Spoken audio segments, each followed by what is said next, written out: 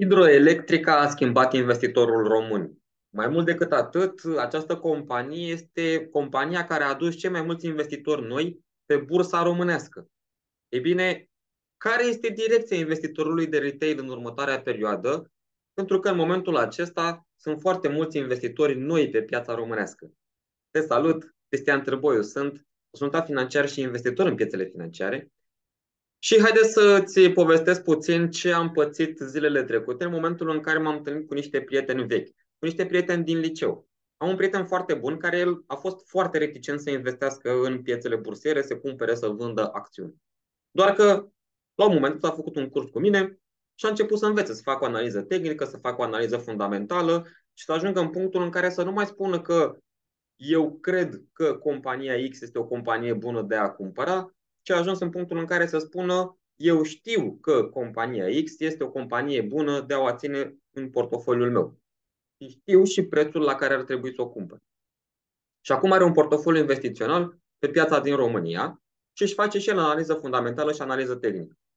Acum, apogeul meu ca și trainer, ca și om care învăț alți oameni să uh, investească, a venit în momentul în care acest prieten al meu, care a fost unul dintre cei mai reticenți oameni din jurul meu să intre în piețele financiare, zilele trecute îi arăta unui alt prieten de-al nostru comun cum ar trebui să investească și la ce prețuri ar trebui să cumpere. Ceea ce mie mi s-a părut incredibil. Adică în momentul de față pot să mă declar un trainer împlinit pentru că nu doar învăț oameni care să investească, ci și acești oameni la rândul lor învață alți oameni să investească și să își îndeplinească obiectivele pe care și le pun. Acest lucru s-a întâmplat foarte recent cu hidroelectrica. Hidroelectrica care a adus în piață, a adus pe piața bursieră din România foarte mulți oameni care nu au mai auzit niciodată despre piața bursieră sau chiar dacă au auzit, nu știau cum ar trebui să cumpere acțiuni la o companie sau ce ar trebui să știe despre o companie. Și mare parte dintre ei au intrat prima dată pe hidroelectrica. Lucru care se întâmplă în mod normal. De ce? Pentru că hidroelectrica a avut o campanie de marketing foarte bună și atunci a atras foarte mulți investitori de retail. Acum, în momentul de față, mai este un moment bun să cumperi hidroelectrica? Păi haideți să ne uităm. Dacă ne uităm pe uh, această companie foarte cunoscută la noi în România, cel mai probabil tu ai cumpărat deja acțiuni. În cazul în care nu ai cumpărat, Haide să îți arăt ce arăta prietenului meu că ar trebui să facă în momentul în care se uită la o companie și când ar trebui să cumpere. Păi, lucruri similare pe care ți le prezint și ție aici. Adică, dacă mergem pe graficul acestei companii, ar trebui să ne apucăm să facem o analiză tehnică. Cum facem această analiză tehnică? Păi, eu îți propun ca întotdeauna să pornim de la trend. De ce de la trend? Îmi place mie trendul mai mult și eu vreau să cumpăr doar pe trenduri ascendente. Și atunci, în acest moment, noi avem pe această companie un trend ascendent care arată de această manieră. Avem un trend ascendent. Este un trend pe care mi-l doresc foarte des la companiile în care investesc. Da? Deci dacă nu am trend ascendent, nu investesc în acea companie. Pe hidroelectrica, noi în momentul de față avem un trend ascendent. Bun. Acum, întrebarea este o să cumpăr această companie, da? Ă, răspunsul este o să cumpăr această companie. Da, corect, bun. La ce preț ar trebui să cumpăr? Păi, eu îți recomand, citez, pentru că asta a spus prietenul meu ă, zilele trecute, eu nu cumpăr niciodată pe maxime istorice. Nu știu unde a auzit această vorbă. Și la fel ca și el, eu fac la fel, eu nu cumpăr niciodată pe maxime istorice. De unde cumpăr? Din apropierea trendului. În momentul de față, prețul este în apropierea trendului? Nu prețul nu este în apropierea trendului, ba mai mult decât atât, este foarte departe de trend. Și atunci așteptarea mea este ca prețul să înceapă să se corecteze, să vină în zona trendului. Acum, aceasta este singura condiție pe care o iau în calcul în momentul în care vreau să achiziționez. Nu, mai am o condiție și anume ca prețul să fie într-o zonă de lichiditate. Și avem noi o zonă de lichiditate undeva pe aici, pe la 121 de lei preț pe acțiune. Mai sunt alte zone de lichiditate și mai jos? Da, mai sunt și mai jos. Doar că în momentul de față, cea mai, uh, cea mai logică sau cea mai, uh, statistic vorbind, cea mai apropiată de uh, realitate este această uh, zonă de uh, lichiditate la 121 de lei. Adică ce înseamnă uh, această zonă de lichiditate? Păi așteptarea este ca prețul din momentul prezent să înceapă să scadă până în apropierea uh, acestei zone de lichiditate și până în apropierea trendului și de aici să înceapă să crească din nou, să respingă, să respingă prețul, să respingă în termeni investiționali și de aici să crească și să ajungă la noi maxime istorice. De ce cumpărăm de aici, de jos, de la apropierea trendului și din apropierea zonei de lichiditate? Pentru că eu vreau să-mi maximizez profitul. Nu? Atunci, din cauza aceasta, cumpărăm de aici de jos. Să avem profituri cât mai aproape de maxim. Dacă aș cumpăra la maxime istorice, adică dacă aș fi cumpărat aici la 121, în momentul de față aș fi fost profitabil, într-adevăr. Dar aș fi fost mai profitabil dacă aș fi cumpărat de aici, de la 116. Adică randamentul ar fi fost mult mai mare. Și atunci, așteptarea mea este ca prețul să se corecteze, pentru că nu există doar creștere continuă, întotdeauna mai există și corecții, ceea ce este absolut normal. Este absolut logic să apară uh, corecții pe prețul atât acțiunilor cât și ETF și al altor active din piață. Și din momentul acesta ar trebui să cumpărăm. Există șanse ca prețul să scadă sub această zonă de suport și uh, sub trend? Da, există această șansă, doar că mai avem aici încă o zonă de lichiditate. Atunci, dacă scade sub această zonă de suport, așteptarea este să scadă până în următoarea zonă de lichiditate și de aici să înceapă din nou să crească.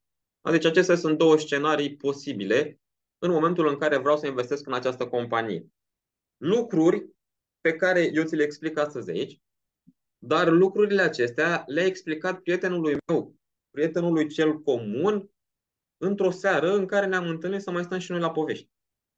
Lucru care pe mine mă bucură foarte tare. Pentru că în afară, în țările dezvoltate, astfel de discuții în momentul în care ești cu prietenul la o bere, cu apropiații, sunt absolut normale. La noi în România, foarte rar întâlnite.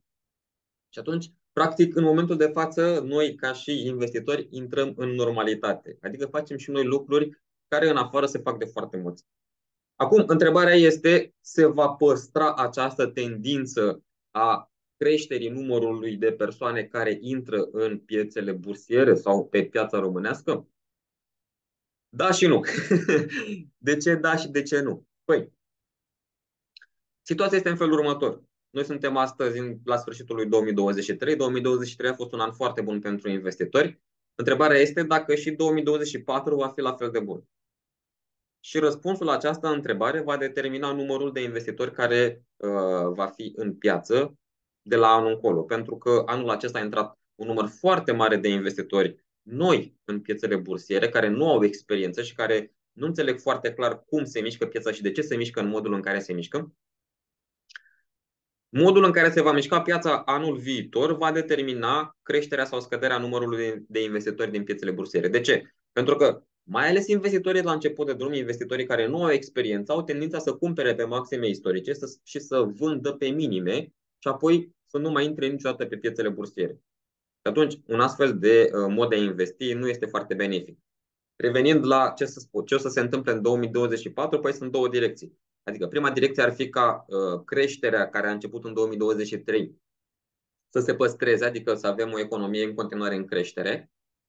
Și atunci, dacă economia o să fie în continuare în creștere, înseamnă că vor să vină din ce în ce mai mulți investitori noi pe piața locală și pe piața internațională să cumpere acțiuni, obligațiuni, ETF-uri și așa mai departe. Și atunci, numărul investitorilor va fi în continuare în creștere.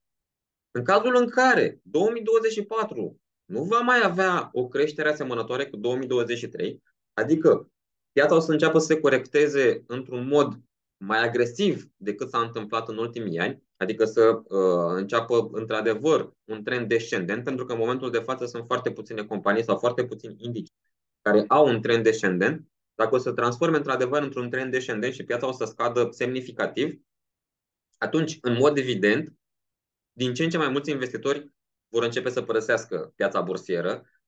Problema este că vor părăsi piața bursieră acei investitori care sunt la început de drum, care nu au experiență și care își vor transforma această experiență într-o convingere, și anume în convingerea că piețele bursiere sunt jocuri de noroc și că nu sunt pentru ei și că doar, doar băieții deștepți câștigă în piețele bursiere. În realitate, în piețele bursiere câștigă doar cei care au răbdare să implementeze strategia pe care o folosesc.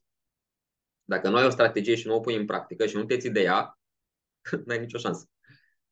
Și atunci, Trebuie să ai o strategie, să ai un, un plan pe termen lung și să te ții de el.